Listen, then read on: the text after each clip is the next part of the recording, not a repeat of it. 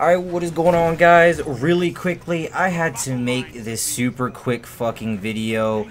I totally forgot to add this in one of my last ones. One of the biggest things about Rise of Iron, the DLC that's dropping, some of the things that you are going to need to do and or remember in order to help you in the Rise of Iron. Like, I don't know how I missed this, but it's a lot more important than people think, honestly. Like, I apologize for missing this, but basically, guys, it's all about the heavy ammo synthesis, okay?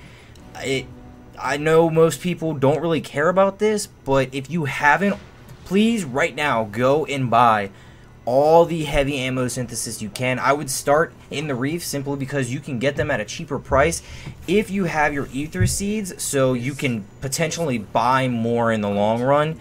So, with that being said, you would start in the reef buy all the fucking ether seed or uh, heavy ammo synthesis with all the ether seeds that you have. And then when you're out of ether seeds, you can either well, you I guess you have to go back to the tower because you can't buy them without ether seeds at the reef.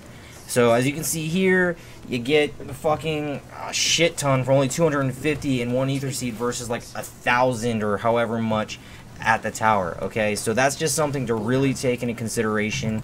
And the purpose for this is, in case people don't know, is so that when the DLC drops, you go right to your new Monarchy, Dead Orbit, or uh, future War Cult vendor and give them all of these heavy ammo synthesis. And when you do this, you train them in for rep. So obviously, once you rank up, you get more fucking reputation and uh, la, la, what are they called? The fucking loot boxes or whatever. Fuck. I'm having a lull here, but that's what they're used for. And the very first day that the fucking Taken King dropped, I got my new Monarchy ship and I had a fucking orgasm and it was amazing. So stock up on those as much as you possibly can along with the legendaries and exotic. I know this is kind of a last minute and or late thing to tell you all, but believe me when I say that it helps, okay? Like, it comes in massively handy, I guess is the way I'm going to say this. Like, I just, I don't know how else to put it other than you need to do this.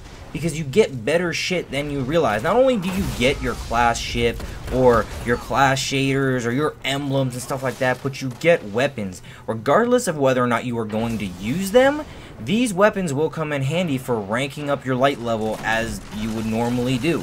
So, these are some things to take into consideration. Actually, it's only a single thing to take into consideration, guys. It's not as important as some people would claim it is, but I think it is very, very, very important because I totally forgot to fucking do this myself, and I'm slightly pissed because again, this makes a bigger difference than most people will ever admit or even realize, okay? So, I apologize for this late minute minor thing that honestly isn't so minor.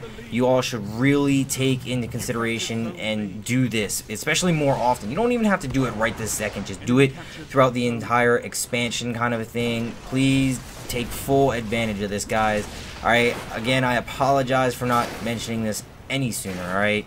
But this will bring me to the end of my quick video. It was one last tip I have for you all before the Rise of Iron drops, alright guys? So please enjoy the DLC. I will be making a lot more videos when the DLC drops with all kinds of other crazy things to explore and tips, tricks, and probably a lot of how-tos and or walkthroughs. So please subscribe for more content, leave a like if you enjoyed the video. I'm Mr. Fool86, and I will catch you all next time.